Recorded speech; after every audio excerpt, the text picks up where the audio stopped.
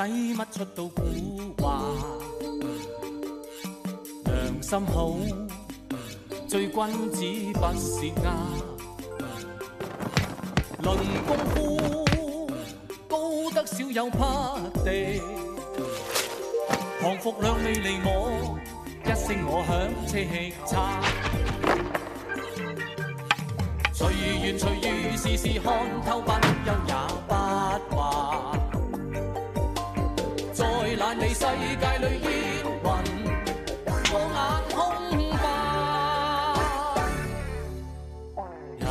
中一早经已选择，尘雾中似清风不染夏。学修身，心间开拓天地，容下世上万变，不出我的象牙。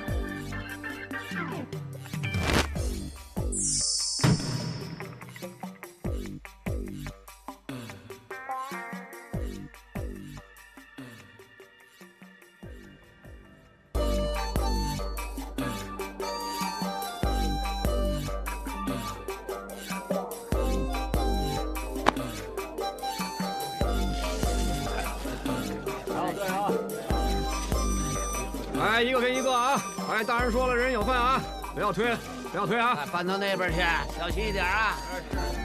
一个跟一个啊，一个跟一个，不要推，不要推啊！叫你不要推嘛，看好队。状元爷真是这心仁厚啊，把家里的粮食分发给贫苦大众，可算是天下父母官的榜样啊！你实在是太抬举本官了，本官只是略尽绵力。哎，状元爷，您怎么可以这么说呀？广州城一直希望有一位像状元爷您这样的好官，大家都说状元爷来到广州城任职是我们广州百姓的福气。状元爷，你又何必谦虚呢？你太客气了。哎，状元爷，你真是当之无愧啊！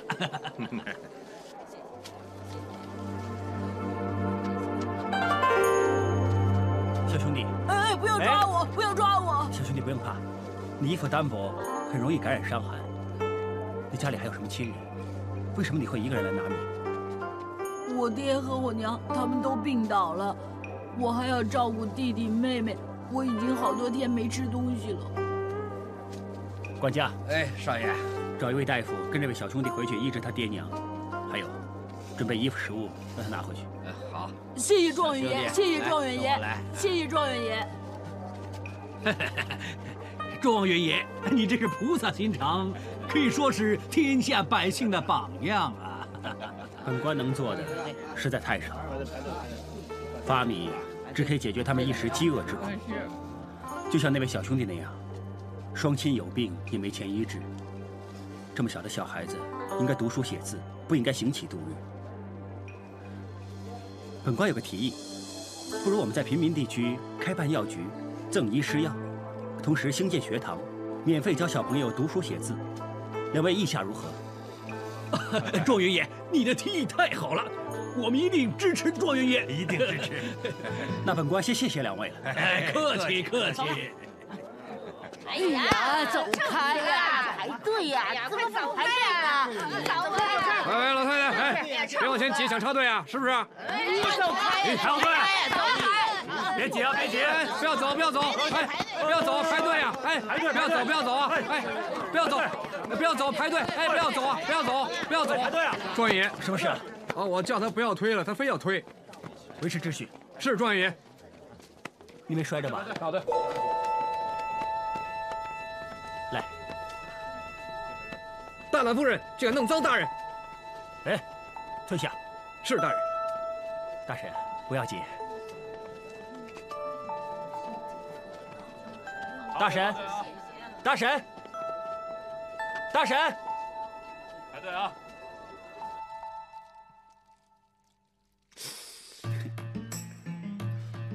怎么？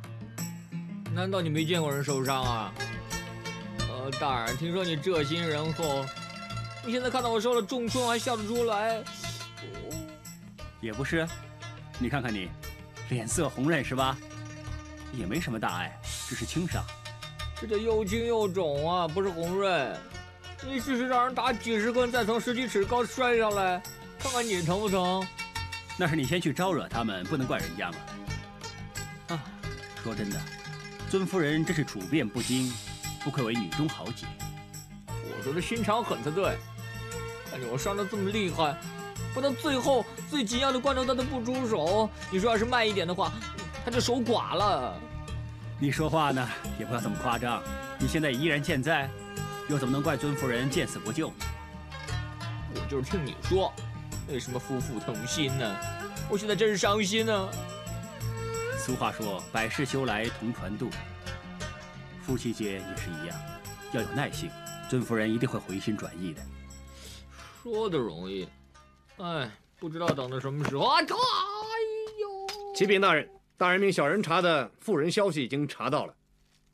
有什么消息？啊妇人叫梅丽娘，是在大人府地附近稻叶乡的，啊，有丈夫和一名女儿，家住沙河里。梅丽娘，退下。是。宋壮士。能不能抽空陪我走一趟？你要住沙河里啊？不错。实不相瞒，今天我在府地外发米的时候，无意中看见一个妇人，她很面熟。我一见到她，有一种似曾相识的感觉。嗯，那你就要去研究一下了，是吧？正有此意。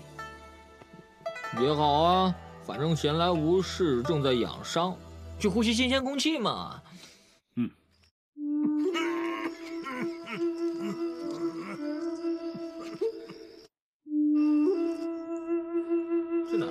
的地方，大家都说广州是华阳杂居的地方，想不到还有这么多人住在这种地方。我身为父母官，一定不能让这种情形继续下去。嗯。不过张兄，这种地方怎么会跟你扯上什么关系呢？你觉得梅丽阳面熟呢？可能只是错觉。回去吧。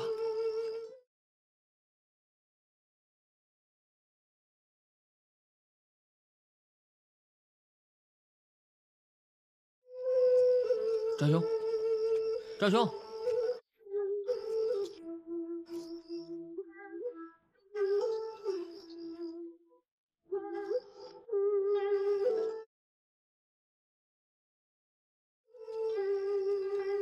这么多家，哪家才是？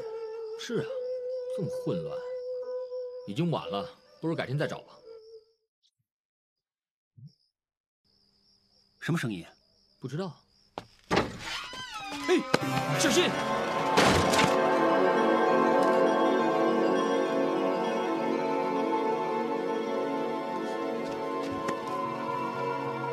死了。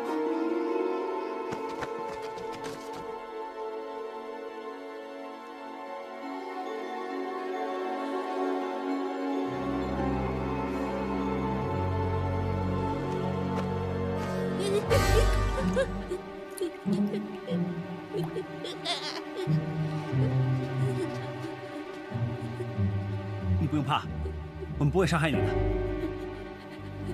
哎，危险！是梅丽娘。梅丽娘。你不用怕，冷静点，先把刀放下。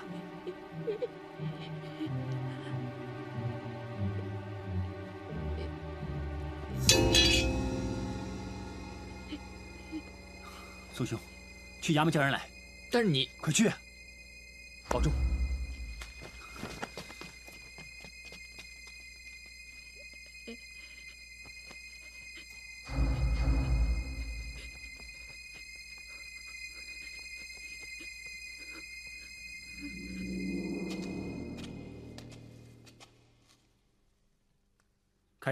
是大人。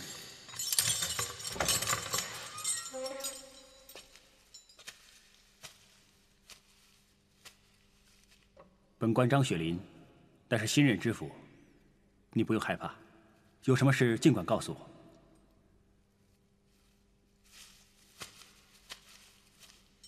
看你是一介妇孺，不像是做奸犯科之徒，究竟为什么要杀人？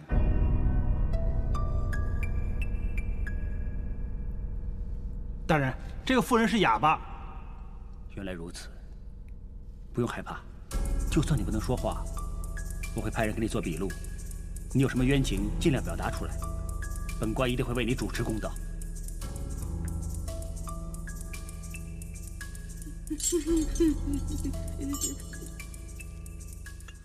俗话说得好，侠狠雅毒，最毒啊就是妇人心。这个梅丽娘是个哑巴啊，真是难怪会毒的连自己的丈夫也杀死。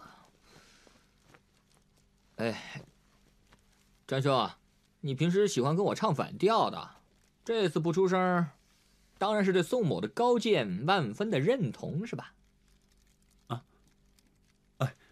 宋兄，不好意思，我一时想事情想的入了神，对不起。哎，我开玩笑的，你别怪我啊。啊，对了，是什么事令张兄你想的这么入神呢？我总是觉得这件事不像表面那么简单，可能另有别情。喂，可是你别忘了，张兄，我和你是亲眼看见她杀丈夫的，这件事很清楚，证据确凿。是，但是从表面看下去，可能并不是事实的全部。因为我查过梅丽娘的背景，她丈夫楚二牛是个无赖市井之徒，而且我总觉得这个梅丽娘，并不是那种作奸犯科之徒，她一定是另有苦衷，才会亲手杀死自己的丈夫。查案呢是要大胆假设，细心调查，但是张兄你一口咬定说梅丽娘杀人是另有苦衷。这个假设没什么根据，大胆了一点。是，我承认我对梅丽娘是有种特别的感觉，可能会有点偏袒。不过宋兄你放心，我绝对不会因为个人感情而影响判决。张兄，你太善良了，你对任何人都这么关照。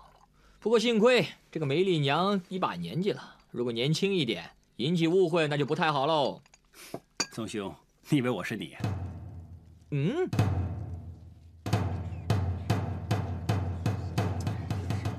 升堂。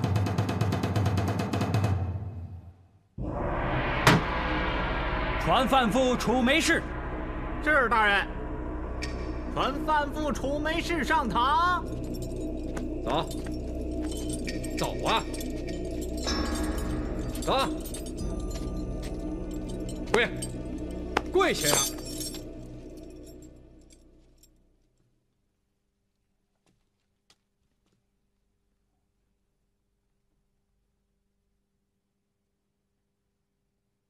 楚梅氏，你杀死你丈夫楚二牛，人证物证俱在。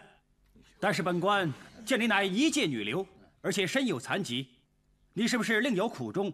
在公堂之上，不妨直言，本官自有公平的审判。哇，这个道叶香的真狠毒！是啊，她连她自己老公也杀。我说她这么狠毒啊，派她砍头就对了。是啊，对头吧？哎呀，真的是砍头吧！公堂之上不得喧哗。楚梅氏，你为什么要谋杀亲夫？是不是另有苦衷？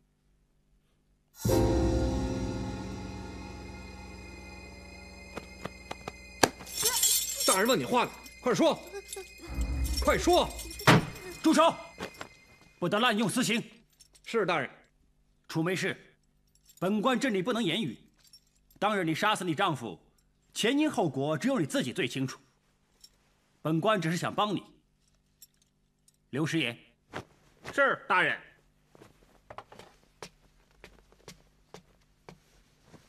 楚梅氏，你有什么要说的，可以用手势表示出来。如果我看得明白，可以写下来给大人过目。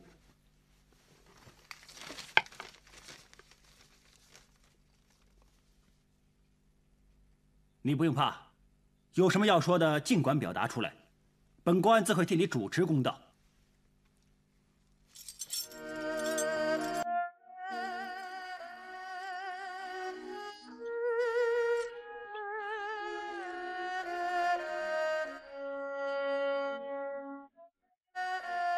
刘师爷，他想说什么？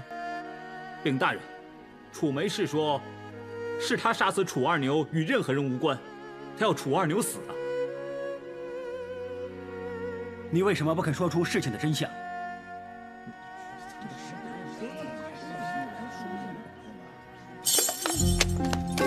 住手！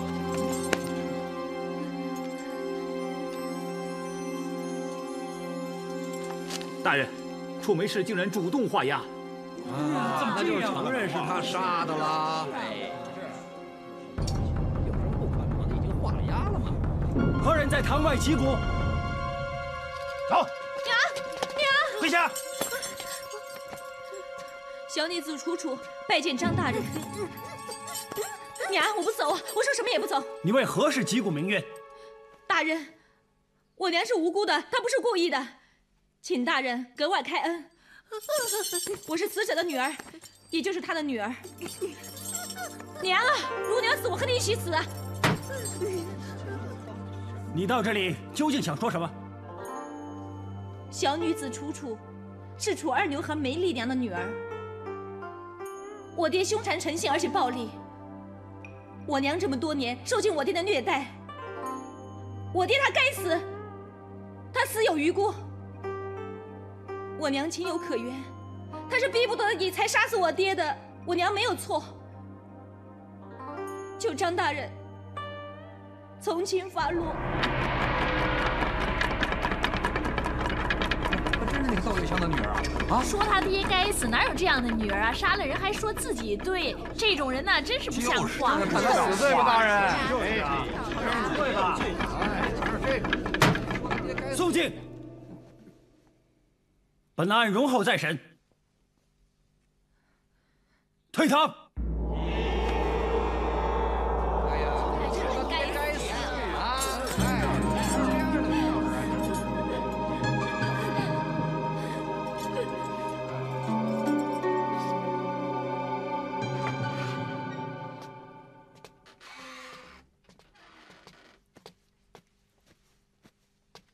大人，楚楚姑娘带到。小女子楚楚叩见张大人。楚楚姑娘，请起。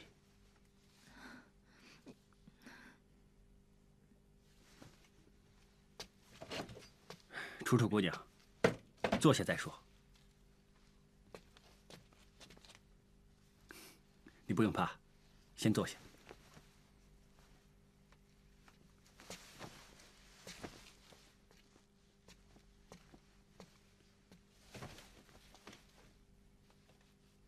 楚楚姑娘，你娘她不止不能言语，而且寻死之心已决。照我看，她并不打算为自己做出任何辩驳。这个时候，就只有你可以帮助你娘。张大人，我娘的命好苦啊！我爹他该死。其实为人子女，又怎么能说自己的爹该死呢？但是真的，是我爹逼我娘杀死他的。你不用怕，到底是怎么回事？你告诉我，我一定会尽力帮你和你娘。不用害怕，你说吧。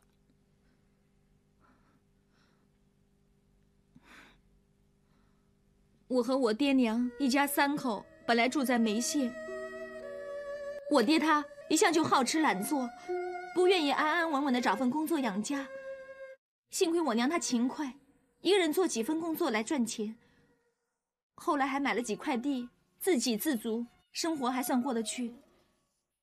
但是我爹就越来越懒，他不止不做工，还常常流连妓院，寻欢作乐，花天酒地，还学会赌钱。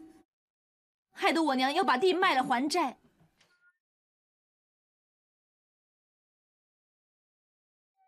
可惜没有用。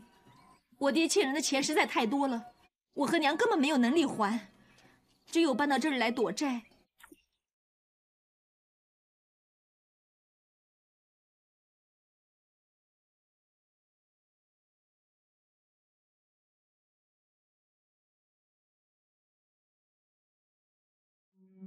但是我爹仍不悔改，还继续赌钱，继续骂我娘，把所有的钱都花光了。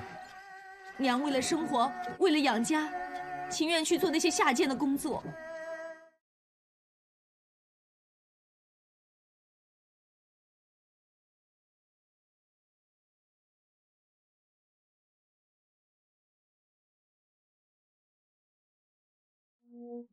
哇！你这个哑巴干什么呀？你一大早把我们口弄得这么臭，快走，拿房呀我开门做生意。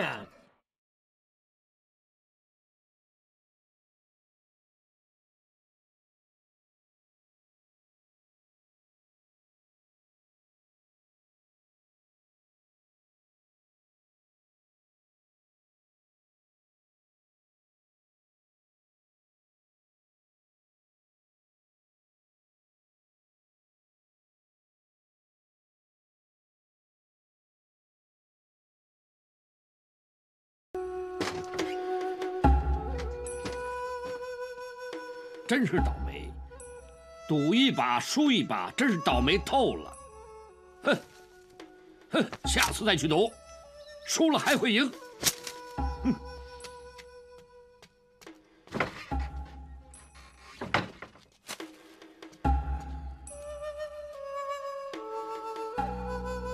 哦，那娘们知道我回来，还煮好粥了啊！哈哈哈哈。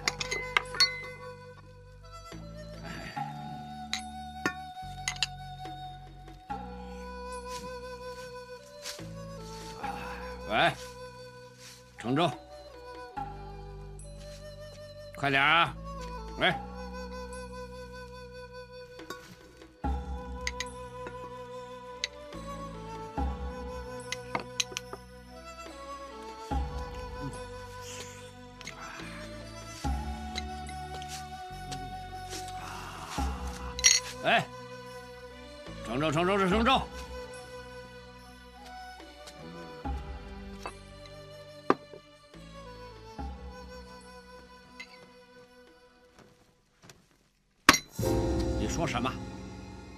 我去赌钱你也管啊？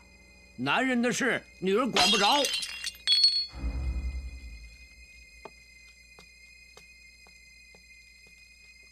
你说你多贱呐！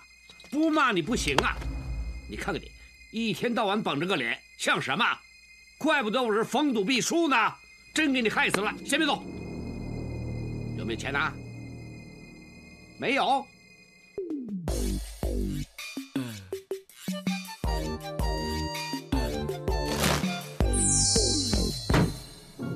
没有。喂喂喂喂！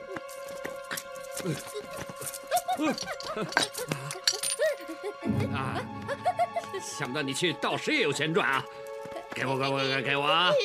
你想怎么样啊？你做什么白日梦啊？道士能赚到钱就去道士吧，傻瓜！买什么田种什么地呀？这辈子没吃过苦吗？真是贱骨头！干什么干什么？给我一点都不行啊！如果你再抢，我就打你！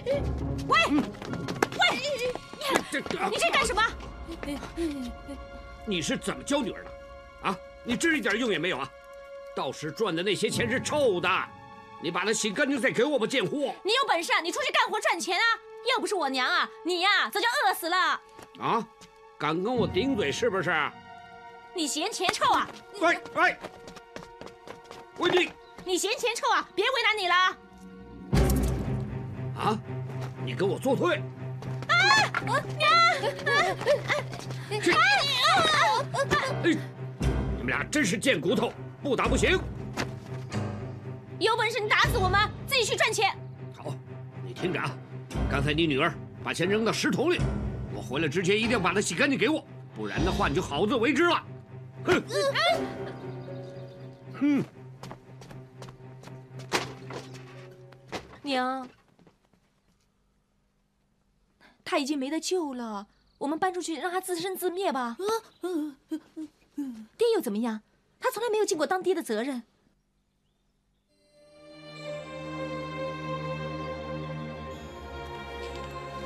娘，娘，娘啊！你别这么听他的话了，不然他就越来越过分了。不要了，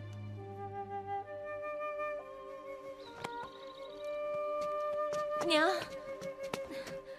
娘，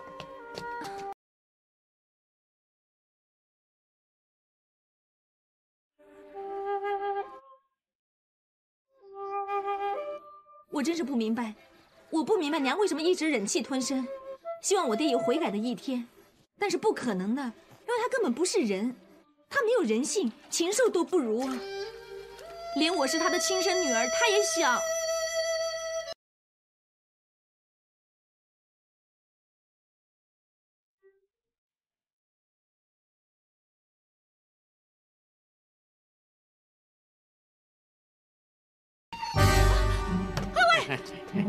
干什么？你怕什么呀？哈哈，从小我看着你长大，什么地方我没见过啊？啊，你你你不用怕啊啊！你又回来拿钱？不要大声啊！你不把我当你爹，但是我知道你是我的亲生女儿嘛，爹不会乱来的。你又回来拿钱，我们没有钱，这里不欢迎你。你没有钱，啊？但是你有本钱呢，啊？你想干什么？爹最近等钱用，你真的要帮帮我的忙，爹是绝对不会害你的。那，那，我拿了迎春阁红菇五百两当你的卖身钱。已经长大了，反正也要嫁人啦，便宜人家倒不如先便宜爹啦，是不是？你疯了！哎呀，哎乖，我有钱呢，腰板就硬了。我出去兜一个圈，只要一赢钱，马上去赎你啊！女儿，你你你你就帮帮爹吧，你就帮帮爹吧啊！哎，帮帮爹啊！哎呀哎呀呀！爹要把我埋去迎春阁。臭丫头，咬我啊！啊，娘！放开我！啊！哎呀！娘！娘！娘！你流血了！你流血了！你们母女俩都是贱骨头，难怪我逢赌必输了，贱货！哼哼！娘！娘！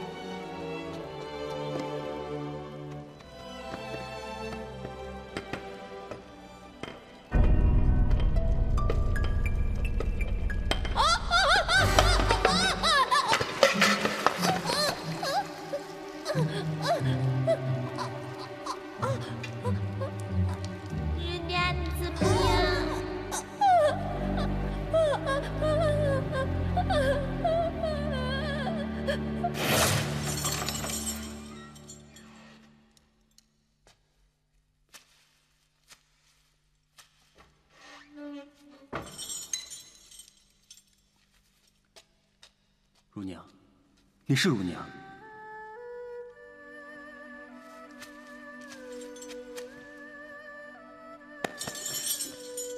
你看看，这块疤是我小时候差点被开水烫着，你为了救我而留下的。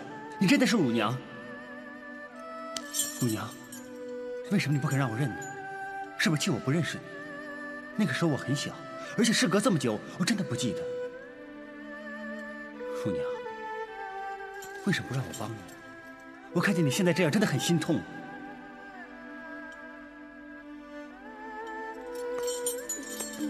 乳娘，你不要这样。你女儿楚楚已经把你和楚二牛的事情全都告诉我了。你不是故意杀人，你只是自卫而错手杀人的，对不对？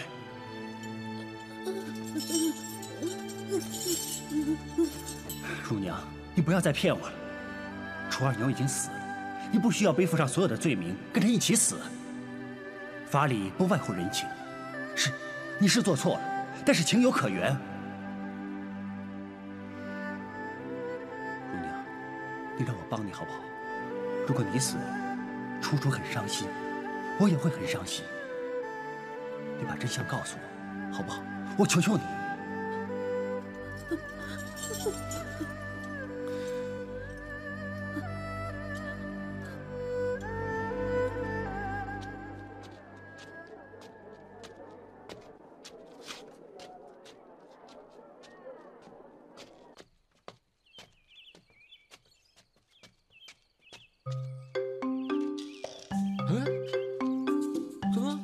走着走着就走回家了？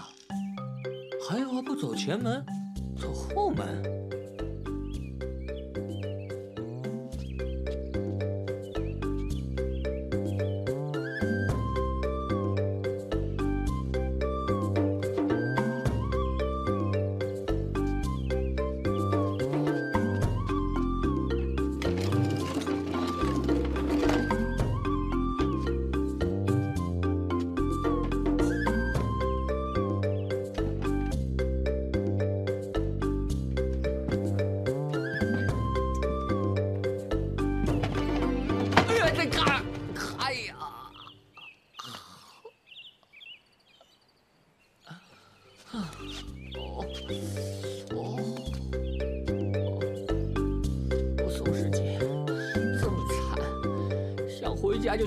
贼一样，当贼也就算了，还进不去。爸爸，哎呀！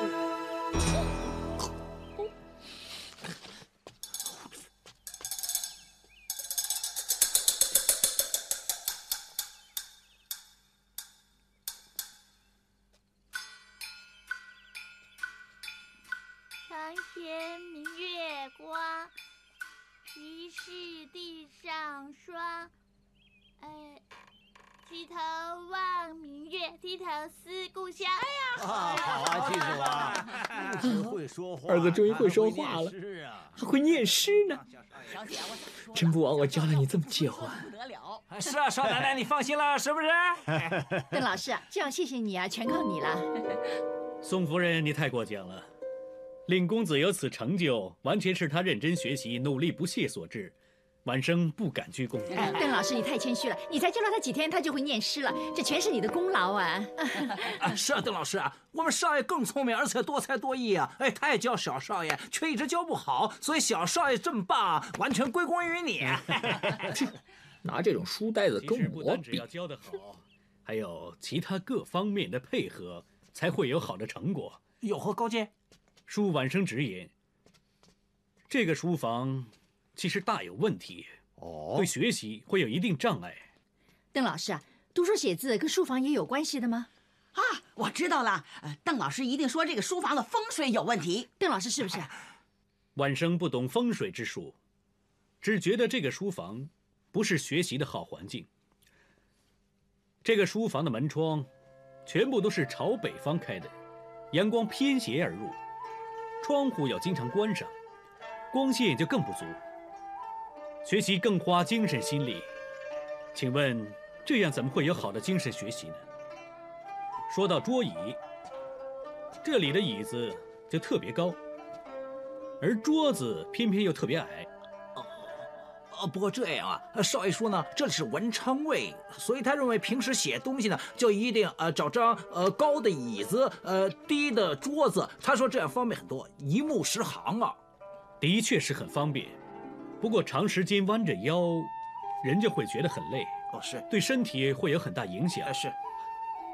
还有，这里所用的笔，全部都是狼毫，狼毫笔尖而细长。这也有问题啊，老师啊。狼毫笔尖耳细长，容易书写吗？是啊。问题是在于，狼毫快而不纯，写出来的字刁钻潦草，对于一个初学写字的小孩来说，并不太适合。那什么毫才好啊？相反，我手上拿的这支羊毫，笔尖粗宽，纯正有力，对下笔写字用力非常有帮助，这样才会练出一手好字。邓老师，你说的真好，有道理。还有，这书房的藏书，全部都是一些千奇百怪、奇风异俗的异国经论。看来这间书房以前的主人行事偏锋刁钻，不理常规，似乎有欠光明磊落啊！哎呀，你算什么东西？说我有欠光明磊落？不识数！老师，实不相瞒，这个书房呢，是我相公以前作诗的地方。他是个壮师。啊，原来如此。我们读圣贤书的，理应先天下之忧而忧，他日高中成就功名，为国尽忠，为民请命，这才不枉寒窗十年，抱憾此生。但是当壮师的，大多数是一些唯利是图的读书人，一身铜臭。专为一些为富不仁的财主打官司，助纣为虐，欺凌弱小，实有辱圣贤，是我们读书人之耻。我哪儿得罪你了？把我说的一文不值。呃，那老师也说的对呀。话又说回来了，当壮士真的很缺德呀。嗯，邓老师，你言之有理。啊，老爷，连你也这么说？你以前也是当壮士的？哎，那是以前的事了，哎，不要再提了。哦，不提不提。啊，爹，你也变了。既然老爷爷这么说，这间书房的确是一无是处。啊，东二奶妈，把这里所有的东西都扔了，还有把桌椅也换了。我的宝贝书在这下完了。少奶奶全扔掉，损失很大呀。你没听见老师怎么说吧？这里的东西啊，全都不能要，换掉它。听见没有啊？小姐说全都不要了，快动手吧。哦哦哦，邓老师啊，谢谢你的提点。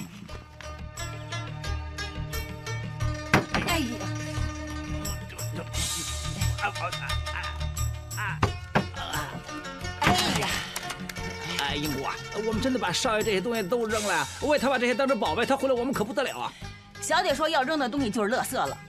嗯。哦，难道你为了保住这些垃圾就得罪小姐吗？不是。哼，那倒是啊，旧的不去，新的不来。哎，扔就扔吧。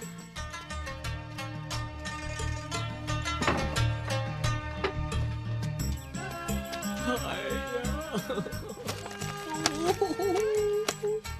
帮混蛋，我才离开两天，居然把我当死人一样，把我东西都扔出来。这都怪那个教书先生，把我的宝贝当乐色，乐色是不是？好，我就用乐色修理你。宋夫人，不用送了。老师再见。老师再见。乖。宋夫人，晚生告辞了。好，明天见了。进去吧。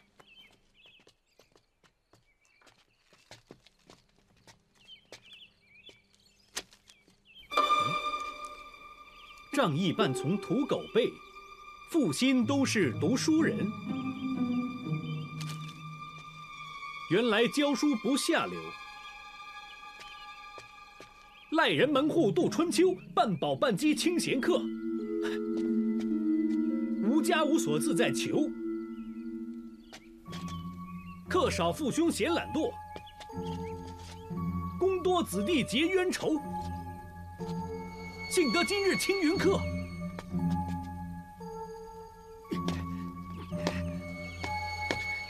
哎呀！最后一句，遮得当年半面丑啊！死读书。啊！你没事吧？哎呀，老师，宋夫人，哎呀，也不知道什么人，居然侮辱斯文。哎。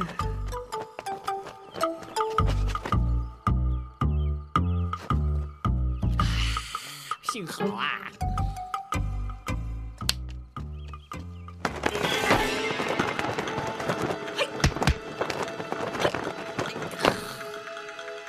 真是你啊！干嘛踩我的头啊，玲珑？你还装蒜？我不认识你刻的那只乌龟啊，也认识你的字吧？我问你啊，你为什么要这么做？做做做做什么？开玩笑嘛，何必这么生气？你踩得我好痛啊！哎呀，把我踩笨了，糟了！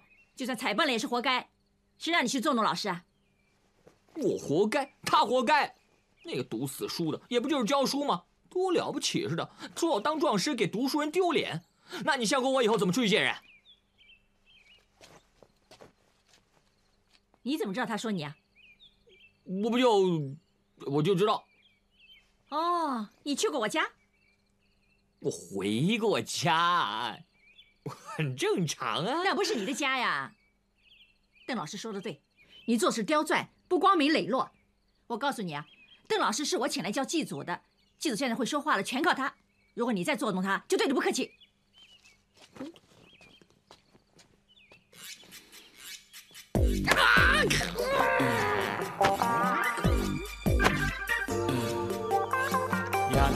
松，使乜出到古话？心好，醉君子不是鸭。论功夫，高得少有匹敌。降服两未离我，一声我响车气叉。随缘随遇，事事看透，不休也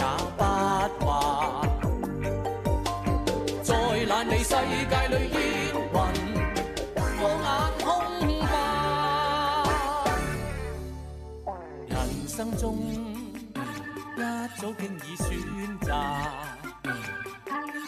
尘雾中似清风不染下，学修身，心间开拓天地，容下世上万变，不出我的象牙。